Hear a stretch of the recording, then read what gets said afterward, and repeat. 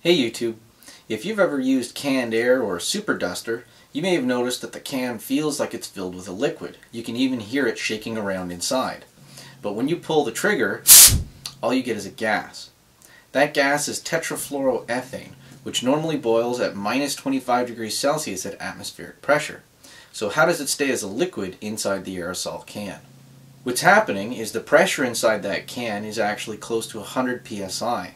That's enough to maintain the tetrafluoroethane as a liquid even at room temperature. Here I've made a small model aerosol can using a clear plastic tube that can hold up to the pressure and I've installed a valve on top. That means as I open the valve we can observe what happens to the liquid as the pressure drops. Here's my container of tetrafluoroethane that's about 20 degrees Celsius and the gas above it is about 100 psi. As I open the valve at the top, you'll see that the liquid at the bottom actually begins to boil.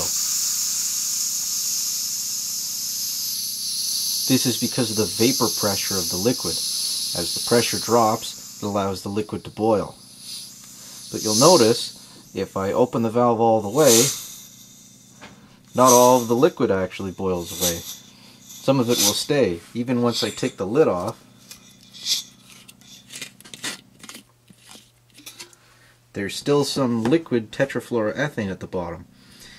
This is because as it boils, it actually drops in temperature.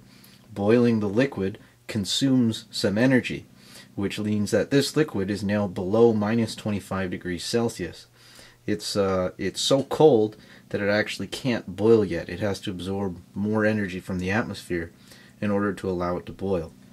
So now I have some tetrafluoroethane that's at atmospheric pressure but it's very cold. It's minus 25 degrees Celsius. You can even see the frost on this container. If I were to pour it out on the table, uh, you can hear it as I touch it. It flash boils because the energy, uh, the heat in my hand is enough energy to cause it to boil almost instantly. I hope you found that interesting. If you'd like to see more like this, check out my channel. Thanks for watching.